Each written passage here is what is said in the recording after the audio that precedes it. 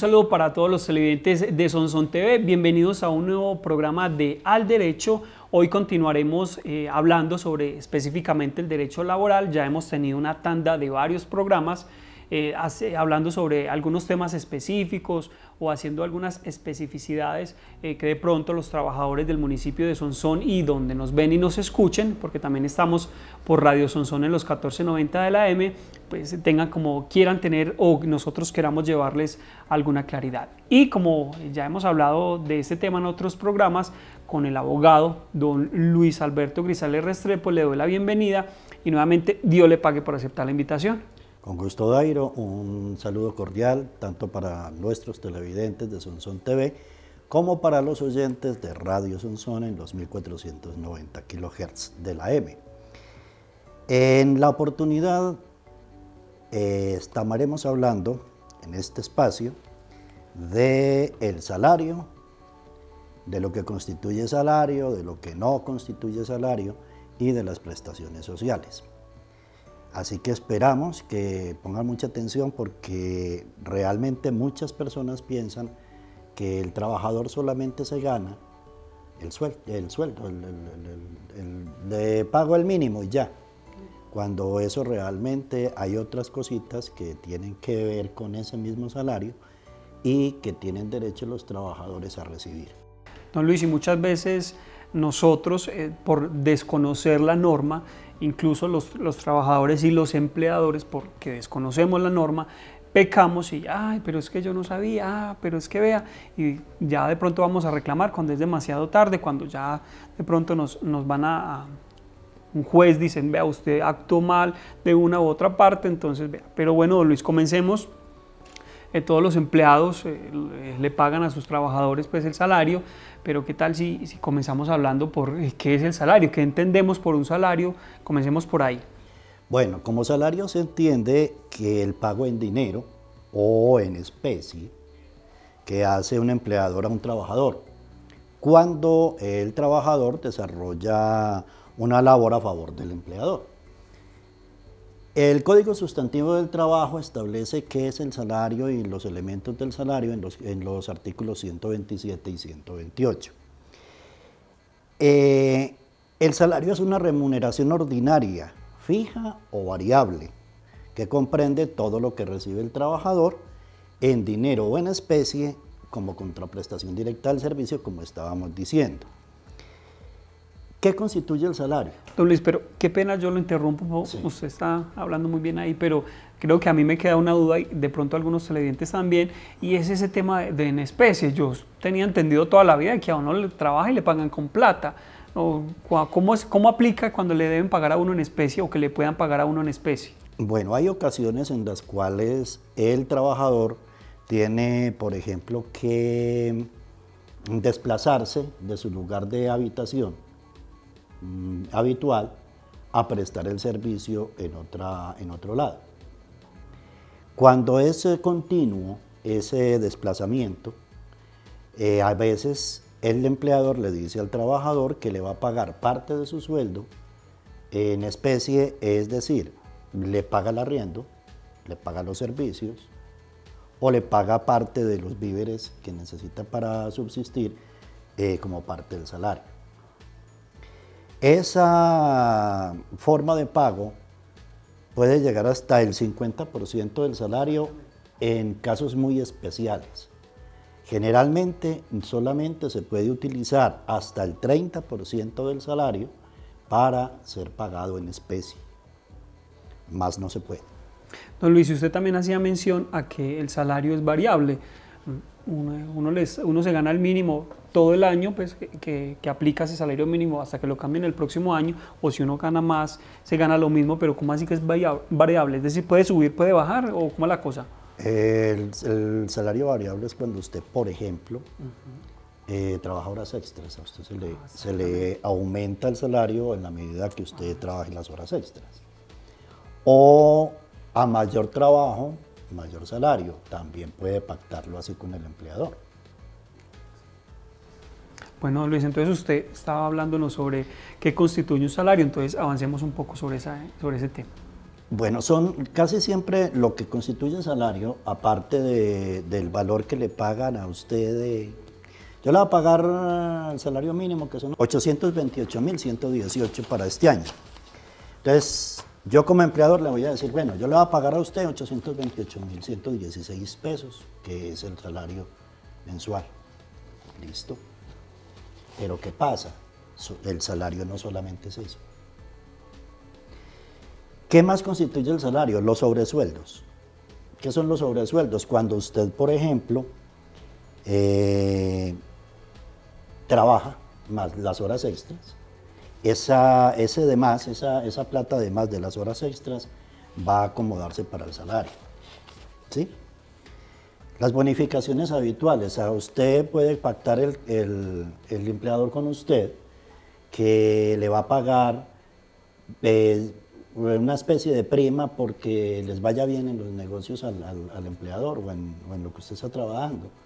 Entonces cada tanto, cada mes, cada dos meses le va a dar una primita, una, una platica más. Pero, pues eso, eso se pacta con el empleador y el trabajador, pero eso depende de, varias cosas. Eso eh, no puede llegar que se vuelva, digamos, como habitual. Sí, tiene que ser habitual para que pueda constituir, constituirse salario. Mm, porque si es esporádico, no. No. No. El valor del trabajo suplementario de las horas extras, lo que hablábamos ahora, el valor de trabajo en días de descanso obligatorio. Usted sabe que semanalmente usted tiene que tener un día de descanso, que puede ser el domingo, puede ser un festivo o puede ser un día en la semana cuando tiene la obligación o la necesidad de trabajar un domingo o un festivo. De todas maneras, usted tiene que tener mínimo un día de descanso en la semana, mínimo. Entonces, cuando usted tiene que trabajar entonces a usted le tienen que pagar aparte por, esa, por ese trabajo extra. Y como es en, hora, en, tiempo de descanso obligatorio, si eso llega a ser en un domingo, a usted le tienen que pagar triple. O sea, lo que vale el día más el doble por ser un, día de descanso. descanso O sea, le tienen que pagar tres veces, tres días por un día. Y los porcentajes sobre ventas y comisiones también hacen parte del salario.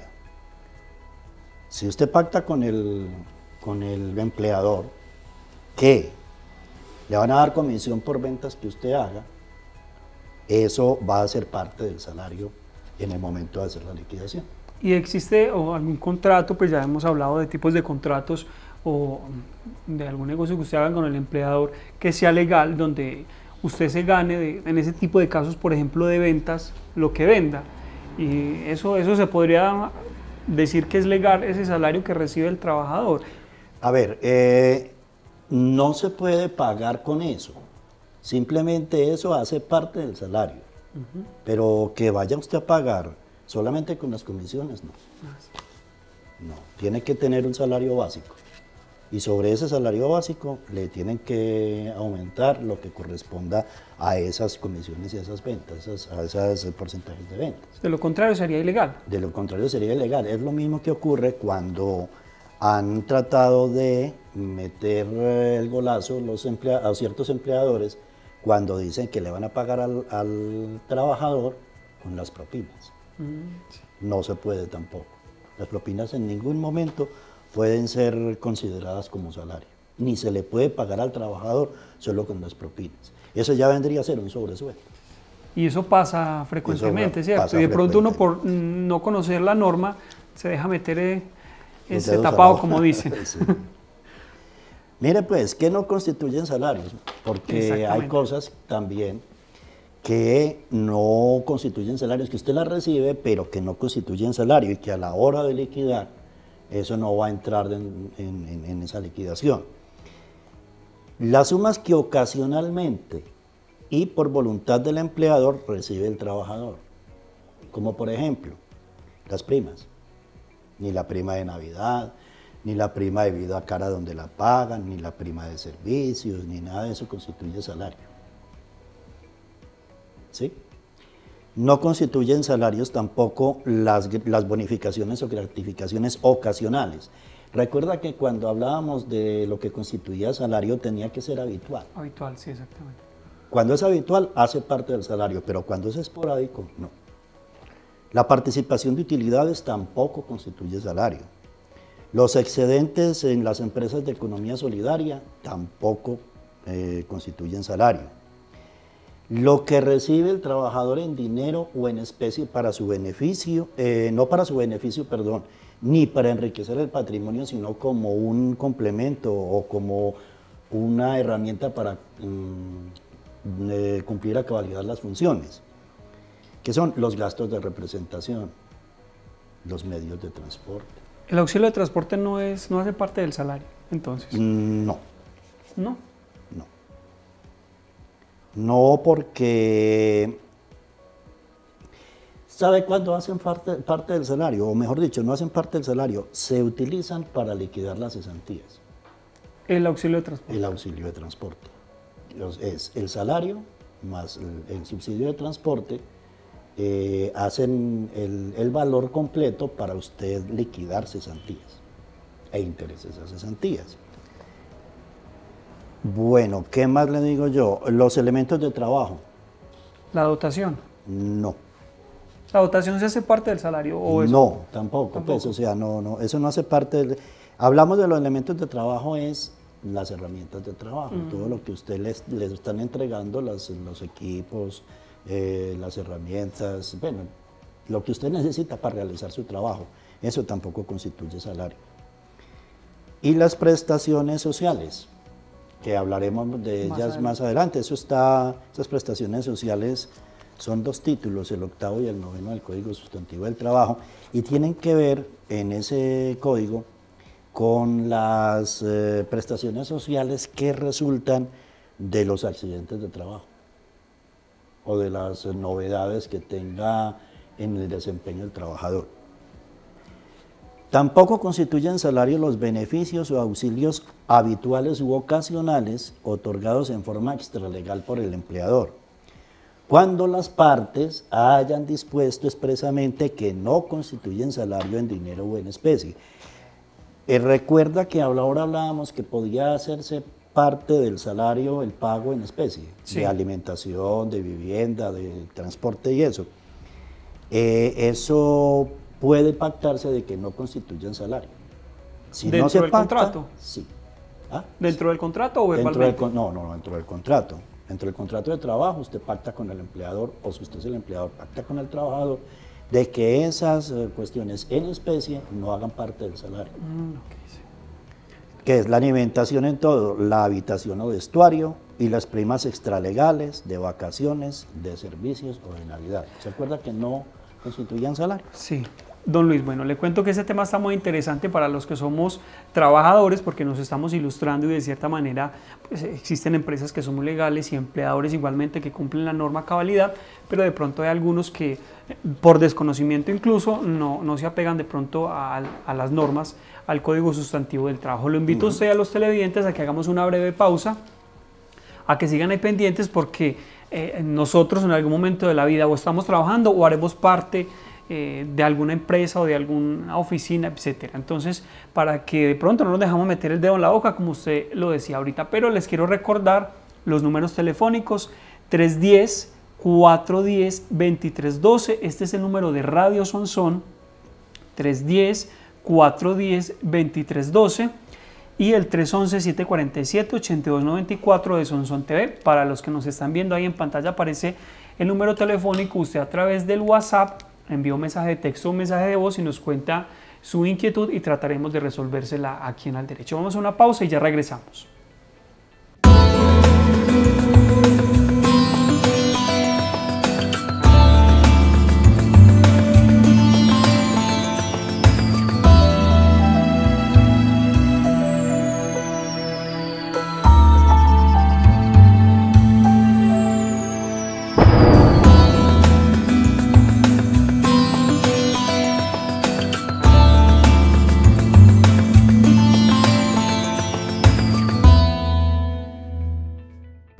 Regresamos al derecho, agradecemos a ustedes los televidentes y los oyentes de Radio Sonson por estar conectados con nosotros aquí escuchando a los especialistas de las diferentes ramas del derecho. Como es habitual, don Luis Alberto Grisales Restrepo, egresado de la Universidad de Antioquia, sede Sonsón, nos está eh, dando luces sobre el derecho laboral.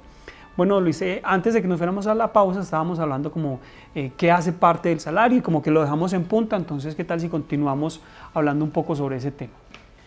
Sí, Dairo, claro que sí.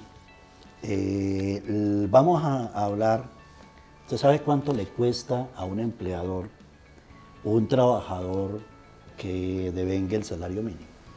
Pues la cifra exacta, exacta, don Luis, no se la tengo, pero uno supondría que es superior a lo que recibe el, el, trabajador porque tiene que pagar otro tipo de cosas, pero usted creo que está muy enterado sobre ese tema. Le cuento que para este año, para este año, un trabajador que devenga el salario mínimo de 828.116 pesos, pesos, le cuesta al empleador 1.413.064 pesos. ¿Por qué? Porque tiene varios elementos. Tenemos el salario mínimo, 828.116 pesos. El auxilio de transporte, que se lo tienen que pagar a los trabajadores que ganen hasta dos salarios mínimos que ganen menos de dos salarios mínimos, entre uno y dos salarios mínimos le tienen que pagar auxilio de transporte.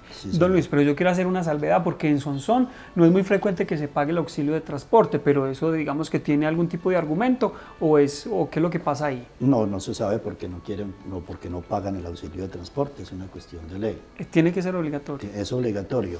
Y le voy a decir una cosa, hasta 2005 solamente se pagaba el subsidio de transporte o el auxilio de transporte a los trabajadores que vivieran a más de mil metros de su sitio de trabajo y que hubiera además eh, transporte urbano dentro del, municipio. Exacto. Resulta que a partir de 2005, eh, por decreto presidencial de esa época, eh, retiraron la, la, prohibición o la especificidad de tener que pagarlo solo a las personas que vivieran a más de mil metros.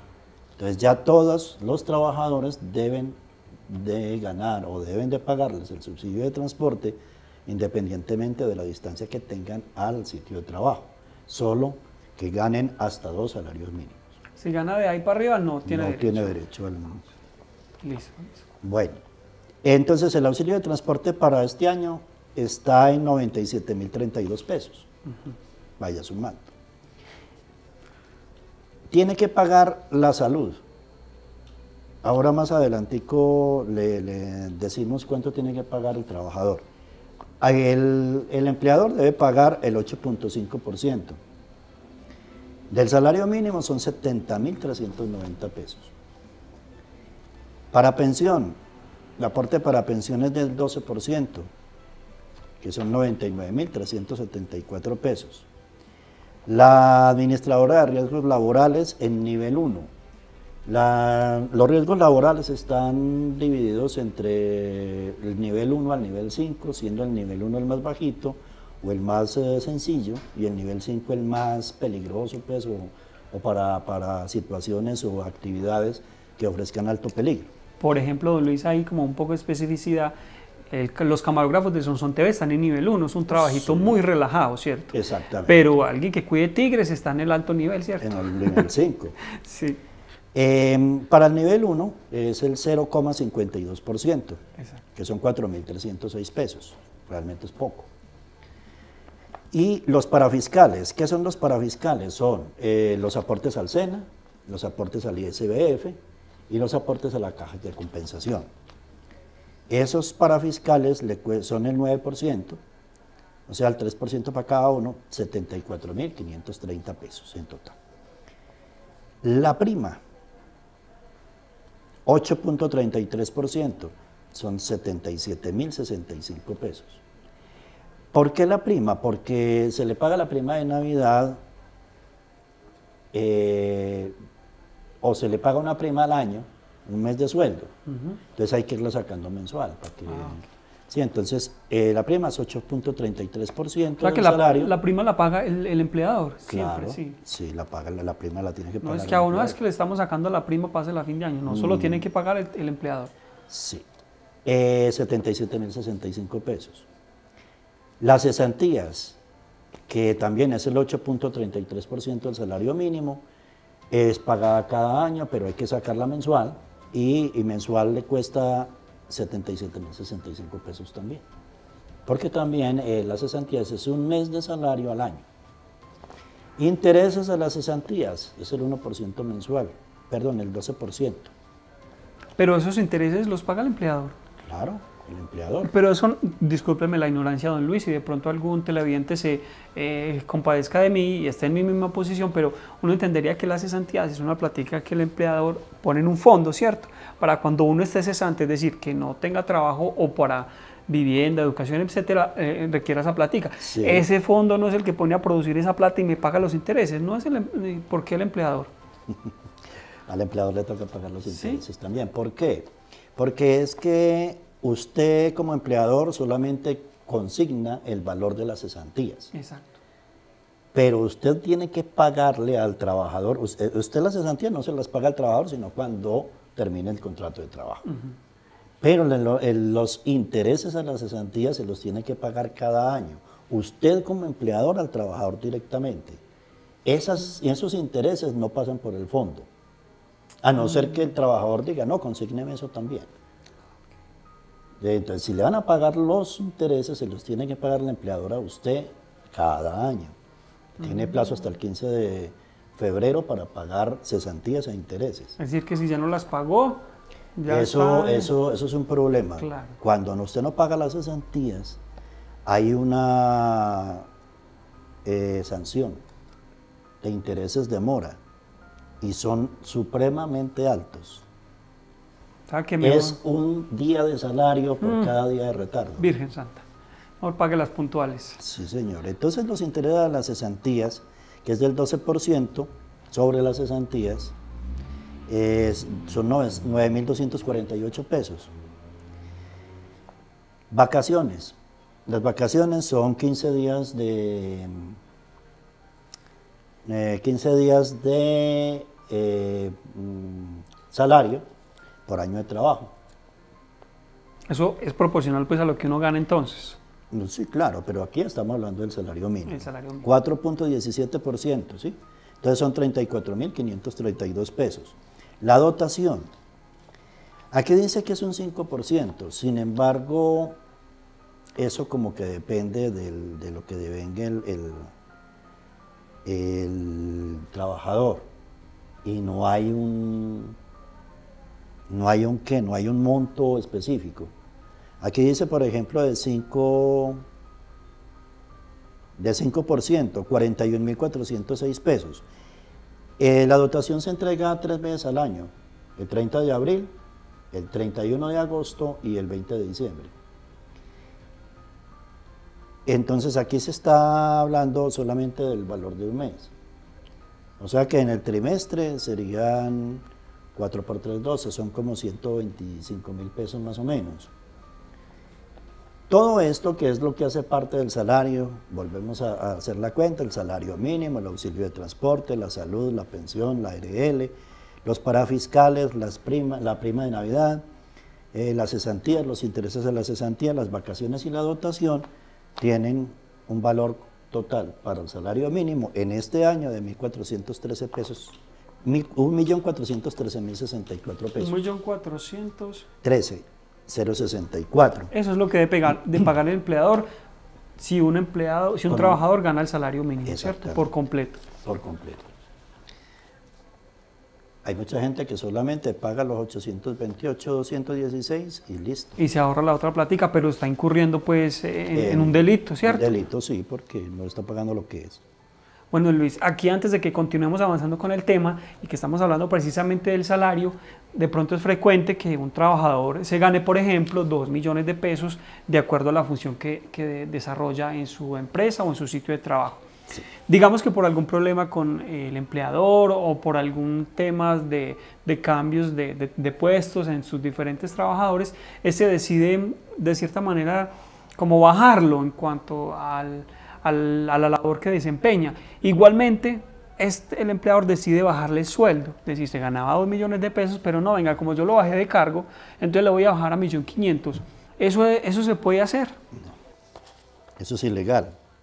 Si usted no, a no ser que usted pacte con el, con usted como empleador, pacte con el trabajador que el que lo va a cambiar de, lugar y, y, le va a rebajar el sueldo. De acuerdo a que a trabajo igual, salario igual, ¿no? Pero eso tiene que quedar en el contrato. Pero tiene que quedar en el contrato, porque si lo hace unilateralmente el empleador, puede, es una causal para usted terminar el contrato por justa causa. Bueno, Luis, entonces habíamos hablado ya de qué comprende lo de un salario. Entonces, ¿con qué vamos a continuar? Bueno, hay una cosa y es que el famoso salario integral. ¿Qué es eso del salario integral? El salario integral es una modalidad de los pagos que se le hacen al trabajador, pero eso opera simplemente o únicamente para los trabajadores que devenguen más de 10 salarios mínimos. Eso es más de 8 millones de pesos. 8 millones, 8 millones 281 mil 160 pesos. De ahí para arriba es el salario integral. ¿Qué dice el salario integral? Que como gana tan buena plata, usted no tiene derecho a nada de esto. Sí. O sea, no tiene derecho ni a auxilio de transporte, usted tiene que pagar su salud, usted tiene que pagar su pensión, usted tiene que pagar su ARL. No, la ARL sí la tiene que pagar de todas maneras el, el empleador. Lo mismo que los parafiscales. O sea, todo lo que sea prebenda para el trabajador se pierde por ganar tanta plata. Lo tiene que asumir el, trabajador. ¿Eso es una norma, eso es ley? Sí, eso es una ley. Pero digamos que no puede existir la posibilidad de que el, empleador decida, no, yo le pago eso porque entra parte de, nuestro contrato de trabajo o así lo pacto yo. No, no, no, es que, o sea, estamos hablando del salario y es integral. ¿Por qué es integral? Porque se gana más de los 8 millones de pesos. Se gana más de 10 salarios. Entonces sería muy oneroso para el, para el, para el empleador también, que aparte de que tiene que pagarle semejante plata, también tienen que pagarle cosas que no... Y se subiría mucho porque es proporcional entonces, entonces la salud es proporcional, eh, las pensiones, bueno, todo ese tema. Don Luis, y usted nos hablaba del que gana mucho, el salario integral, pero digamos que el trabajo por jornales. Eh, ¿a qué tendría derecho esta persona en cuanto al salario? Tiene exactamente la misma, la misma, pues todo lo mismo que tiene el trabajador normal o un empleado normal, lo tiene el jornal. Lo que pasa es que lo único que cambia es la forma de pago, que le están pagando diario. Entonces, proporcionalmente, le van a pagar también su salud, su pensión, sus riesgos laborales, todo va a ser, va a ser eh, pagado proporcionalmente al pago que le hacen. Si el pago es por días o por horas o tal cosa, ahí tiene que ir también incluida la parte que tiene que pagar de eso otro. Pero no, no, tiene ningún cambio. Eh, hablábamos por aquí del, también en el, en el artículo 130 del Código Sustantivo del Trabajo, de los viáticos. ¿Qué comprenden los viáticos? Eh, si los viáticos son permanentes, constituyen salario. Pero solamente en eh, los gastos de representación, eh, perdón, en los de, de manutención y alojamiento. ¿Sí? O sea, la comidita y la dormida. Por ejemplo, eh, aplicaría en Sonson que hay muchos transportadores de alimentos que manejan camiones, entonces que le tienen que dar la plata para, para que pague el hotel y para que compre el almuerzo, el desayuno, no sé, eso sería... Esos son los viáticos. Esos son los viáticos. Lo que no, no constituye eh, salario, o sea, son viáticos y constituyen salario, la manutención y el alojamiento. O sea, la, la comida y el alojamiento van a ser parte del salario, pero el transporte no transporte son parte de los viáticos, pero no hacen parte del salario. Como por ejemplo la gasolina, el peaje, eso no entraría. Eso no entraría en Y entonces, siempre que se paguen, dice el, el, artículo 130, siempre que se paguen debe especificarse el valor de cada uno de estos conceptos. Los viáticos accidentales no constituyen salario en ningún caso. Volvemos a lo mismo de que lo que son bonificaciones y todas esas cosas que son de vez en cuando, eso no constituye salario. Solamente constituyen salario cuando son continuos. De resto no.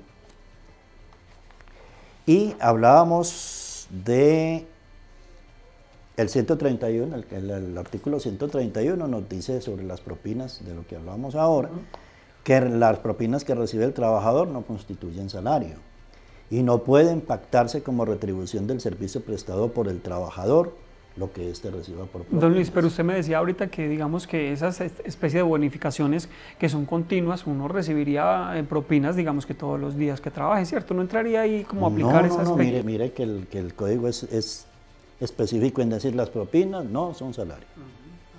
Y no puede tampoco, yo le voy a pagar a usted con las propinas que reciba, no se puede tampoco.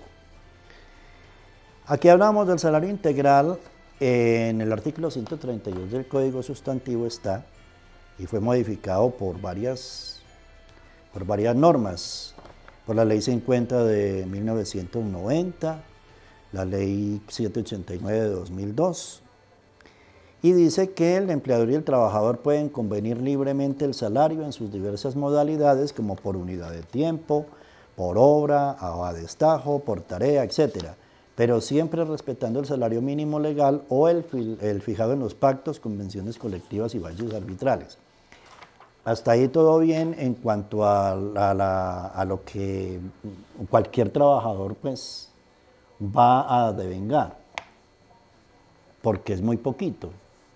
Pero entonces, dice ese mismo artículo, el 132, que no obstante lo dispuesto en, los artículos 13, 14, 16, 21 y 340 del Código Sustantivo y las normas concordantes con esta, cuando el trabajador devengue un salario ordinario superior a 10 salarios mínimos legales mensuales, valdrá la estipulación escrita de un salario que además de retribuir el trabajo ordinario, compense de antemano el valor de prestaciones, recargos y beneficios tales como el correspondiente al trabajo nocturno, extraordinario o al dominical y festivo, el de primas legales, extralegales, cesantías e intereses, subsidios y suministros en especie, y en general las que se incluyan en dicha estipulación, excepto las vacaciones. Este salario no está exento de las cotizaciones a la seguridad social ni de los aportes al SENA, ICBF y cajas de compensación familiar. Pero en el caso de estas tres últimas entidades, los aportes se disminuirán en un 30%. Como gana tanto, entonces ya le rebajan en la cuestión del porcentaje que tiene que pagar. Eso. El trabajador que desea acogerse a esta estipulación recibirá la liquidación definitiva de su auxilio de cesantía y demás prestaciones sociales causadas hasta esa fecha, sin que por ello se entienda terminado su contrato de trabajo. O sea, ahí es lo que liquidan cada año. ¿Se acuerda? Que en algunas ocasiones se liquida cada año. Eso es solamente en el, en el campo del salario integral, de resto no. Antes de terminar, nos queda una cosita por decir y es que eh, cuando un trabajador recibe más de cuatro salarios mínimos, le toca mm, aportar para el Fondo eh, de Solidaridad Pensional, que es del Estado, y tiene que dar un porcentaje de su trabajo, eh, es el 1% del salario para el, el, Fondo de Solidaridad Pensional. ¿El 1% mensual? 1% mensual. Adicional al que ya le sacan. A uno le sacan para pensión le sacan el 4% cuando gana hasta dos salarios mínimos, hasta los cuatro salarios mínimos, el 4%. Con los cuatro salarios mínimos o más tendría que pagar el 5%. Los cuatro normales y el 1% más para el Fondo de Solidaridad Pensional. Don Luis, eh, de verdad que este tema del derecho laboral, digamos que es muy interesante y nos compete mucho a todos los que hacemos parte del mundo laboral. A usted Dios le pague por estar acá en el programa y le hago la invitación nuevamente a nuestros televidentes, igualmente a las personas que nos escuchan por Radio Sonsón, que si usted en algún momento se han sentido atropellados específicamente en el derecho laboral como estamos hablando hoy, don Luis estará acá presto en el derecho para tratar de darles una guía y solucionar ese inconveniente que están pasando, o simplemente es como un parecer de ustedes. La consulta que ustedes nos hagan no tiene ningún costo, no vamos a decir su nombre es tal, Julanita tal, con el, la empresa tal, y le pasó esto y esto, esto, no, sino que usted nos va a enviar como el caso y trataremos de, hacerlo muy general dentro de la medida que el abogado pues no lo pueda resolver. Entonces tranquilos que no vamos a decir nombres, ni empresas, ni absolutamente nada. Les quiero recordar los números. El de Radio Sonson es 310-410-2312. 310-410-2312 de Radio Sonson y el de Sonson TV 311-747-8294 o al correo electrónico comunicaciones Igualmente ahí abajo de las pantallas ustedes están viendo el correo electrónico y el número telefónico para quienes nos están viendo. Don Luis, nuevamente Dios le pague por hablarnos eh, tan claramente sobre el derecho laboral acá en nuestro programa. Ah, gracias a usted, Airo, por la invitación. A nuestros oyentes de Radio Sonson y a nuestros televidentes de Sonson TV, les invitamos, ¿verdad?, a que nos escriban. aprovechen el espacio. Aprovechen el espacio que acá, tanto mis compañeros que, que trabajan en el otro o en otros eh, ámbitos del derecho, como en mi caso, estamos dispuestos a darles alguna luz sobre cualquier duda que puedan tener y que nosotros podamos eh, solucionar. Esa es una de las intenciones de, nuestro canal comunitario Sonson TV, como eh, darle a ustedes la facultad de solucionar algún problema jurídico acá en, este canal, porque digamos que un abogado por el estudio tan fuerte que implica estar cinco años estudiando las diferentes ramas del derecho tiene a cobrar pues alguna platica, entonces digamos que algunos no tenemos ese suficiente dinero como por lo menos para que nos asesoren, entonces nosotros acá a ustedes les podemos hacer ese servicio de manera gratuita, digamos que es una de las funciones de nuestro canal comunitario, igualmente los abogados que han estado acá están muy prestos, todos ellos de universidad pública, de la Universidad de Antioquia de son entonces de alguna manera quieren retribuir eh, eso que, que, aprendieron pues en la universidad. A ustedes, televidentes oyentes, Dios les pague por estar ahí. Nos vemos en un próximo programa de Al Derecho.